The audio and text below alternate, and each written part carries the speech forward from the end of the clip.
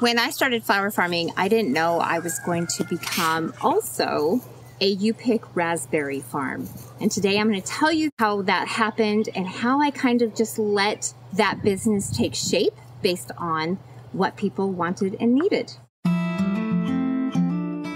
Welcome to Learn Cut Flower Growing. Whether you are an inspiring green thumb, a busy mompreneur, or simply seeking a passion, you are in the right place. I had to do it all over again, knowing what I know now, I would do it smarter. And that's what I'm sharing here. I want to take years off your learning and help you bloom with confidence in your garden. Each episode, I'll share practical tips and ideas, heartfelt stories, and expert insights to help you grow and find balance in your journey. I'm Paula Rice, your cut flower farmer guide.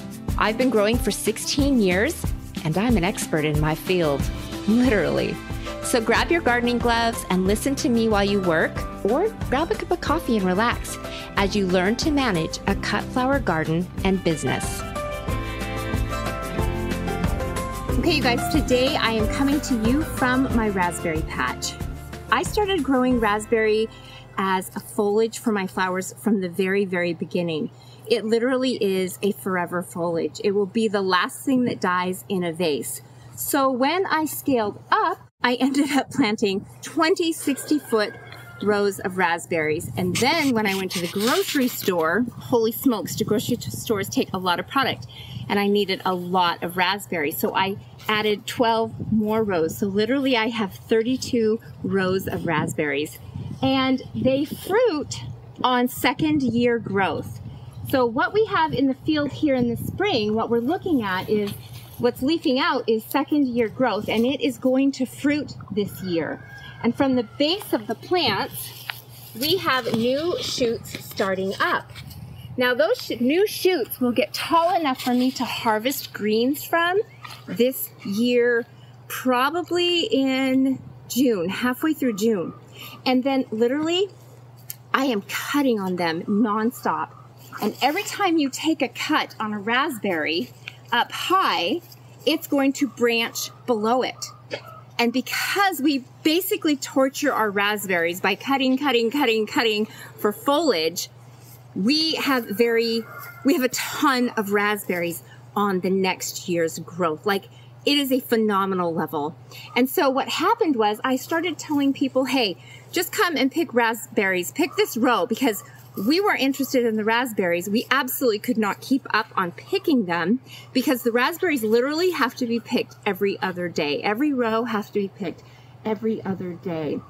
We could not keep up on that. So we were just inviting people to come out and pick the entire row.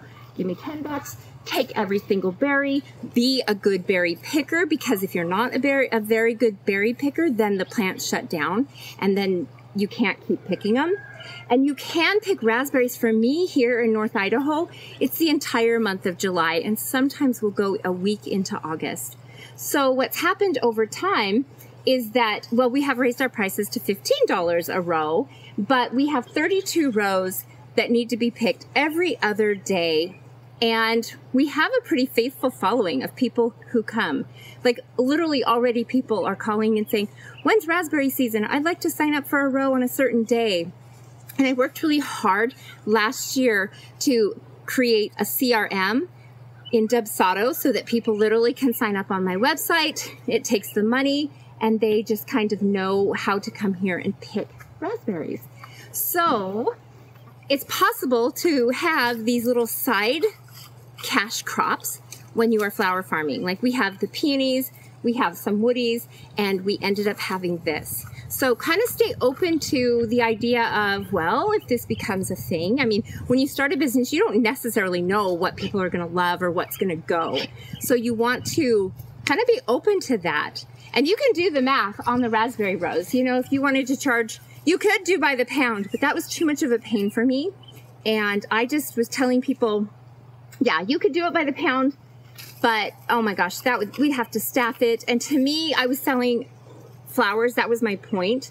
But you could do the math if you had that many rows, you could charge a certain price and you know they're going to be in production for a full 30 days every other row. You can do the math and, you know, make up your own your own business. But what I really want to share today is about how to manage your raspberries, whether you just have a few raspberries or you're doing a few rows because you just want that stellar foliage. So I have my raspberries in a row and I do not, absolutely do not plant them in a garden because they sucker and they are going to spread and go everywhere. So literally if I was to get, if you were to get raspberries today, I would say, hey, plant them in the lawn. Plant a lawn somewhere and plant your raspberries. Either that or till up an area, plant your raspberries, and then just go ahead and plant some type of a low slow growing perennial grass that isn't too aggressive because I just mow, okay? I, I do that, I put it in my lawn because I wanna just mow my raspberry rows. And so at the base of my raspberries, they literally do get grassy and I don't even care. I'm not gonna put wood chips on them all of the time.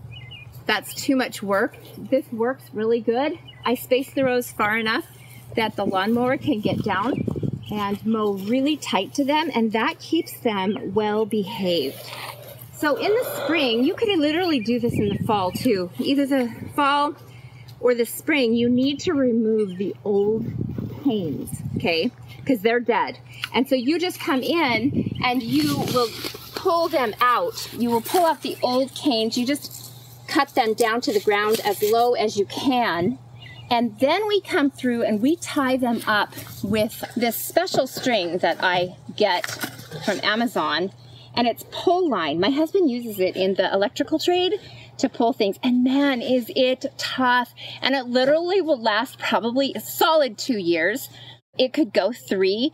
I cut it every year and restring things because it's just easier to clean out the raspberries if the string isn't in my way. But that is excellent. This one, this bucket is Powerfish Pull Line by Ideal. And it is so fantastic. It has this little blue, blue line through it and it is so tough. So once we clean out the old canes, then when we set up this row, we drove metal fence posts down the row. And I'd say probably every 12 feet, I have a metal fence post. And that is so that I can run the string from fence post to fence post on both sides of the raspberries and capture the raspberries. And if I don't, well, I put, yeah. Okay, come this way, Ivy. So when, if the, if the string isn't tight enough, then we will come through and we'll tie it together, like in between the two metal fence posts. I'll come and tie a knot and bring the, the, the strings together and kind of suction it up. And you have to tie up your raspberries not if you were only using it for foliage, but you kind of, yes, you would, because the berries will become so laden with fruit that they will start to fall over. So even if you're not selling your fruit or doing anything with your fruit, that can be kind of messy when you're out here harvesting your foliages. And so we tie them up so that they stay well supported and then people can just come through and pick the berries. But I absolutely love just having a field of raspberries and we mow in between the rows. I do not worry about the grass. I lay one line of drip down through the raspberries because raspberries have very shallow roots. So literally I could come to a raspberry plant and probably just pull it out.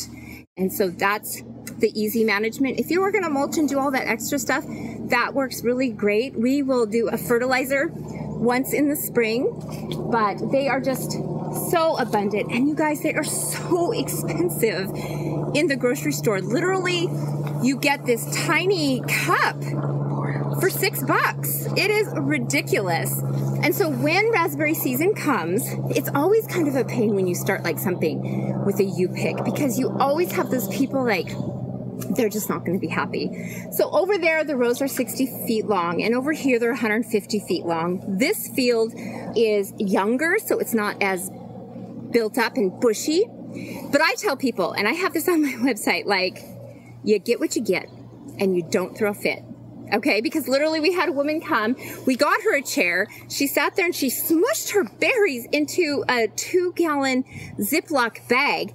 And literally, if you had laid those out on a cookie sheet. You would have had just a, a huge cookie sheet, and we're talking $15 here, people. You would have had just a heaping cookie sheet of berries, but she smushed them in there, and then she went on Facebook and complained that she didn't get enough, it isn't a good deal, don't go. And literally, you guys, it's a cup in the grocery store for six. And I just, I was like, I'm, I, I don't know. My team went out there that night. I'm like, let's even go see if she picked well because you have to be a good picker. Like we will, if you're not a good picker or you're someone that doesn't come, then we have to come in and fix the row so that it can keep producing for people that come later in the month. So I need you to be a good picker. But we went out and we picked after her. And man, I picked probably a half a gallon of berries from her row because, and I do this on the website, I do this on the video. Like, please get down, please take everything. If you have a raspberry that you see that is shriveling up, it would be so helpful if you did just kind of pick it up, pick it off, and throw it on the ground. And it just is a community thing to do. It's just something, it's a good price, and you kind of just train everybody to do that here's another thing because I, as you know, I have a harder time. It's getting harder to get labor to come and help. And I've, I've been thinking, how can I get the raspberries cleaned out? Because I have it penciled out how many hours it takes to clean out these raspberries, how many man hours. And if I have pizza and I get, you know, grade school kids or friends over for a, a morning, like I'd love to get like 10 people over and we can knock it out literally in a morning, which is so nice rather than us struggling along over the course of a month to get it done. But I've also thought about spring break. You could find out what kids just want to have a job for a day and have them come. Or I have another friend who suggested, you know, for the families that come and pick regularly, if they came and just cleaned out a row, then they could come and pick if they showed up to help clean, they literally could have a row to pick in the summer, you could work up a lot of different systems to get a crew in to help you if you did a lot of berries. So I think about that a lot. Oh, oh, and I wanted to share that we were literally out here cleaning out our raspberries, and I have an eye. You know how people can find antlers anywhere? They just kind of have an eye for it. Well, I have an eye here on my farm for praying mantis pods. And we, the team and I, the crew that I had, we found probably like 20 praying mantis pods in the raspberries. In fact, there's even some stuck to the metal fence post, which is so cool. And I took them to a class and gave them to some kids and talked to them about praying mantises. So yeah, I feel like that's the wrap up. I wanted to talk to how to manage the raspberries, how to manage the people. Oh, I know what I wanted to add. In the summer, when people come with their families, because the guys get home from work, the wives come and their babies come, and the children can just kind of run and play. I'm pretty laid back. It's in a fenced area. And I just really love to see the families come and I can see where the the guys, the men and oh just everybody, they just wish they had something like this. So it's really awesome that people can come out to the country and and have a good time and pick berries with their kids and their family. It's a lot to kind of manage. It's not a lot to manage the raspberries. Literally we do it in the spring and it's done. It, you can forget it the rest of the time. So that makes it easy, but I guess when you have 30 some rows, it can be a little bit of a stress in the spring because here you are needing to get a lot done and it's something that has to be done. But I do love the people coming and I feel like we have to have food locally grown that's somewhat affordable. Anywho, that is my talk on that, you guys. And I just want to encourage you to do something and something will happen. And you don't always know what that's going to be, but be open to a lot of different possibilities because when you say that prayer, Lord, what is possible? Oh my goodness, I think miracles can happen in that space. Okay, God bless. Have a great week, and we will talk to you next week.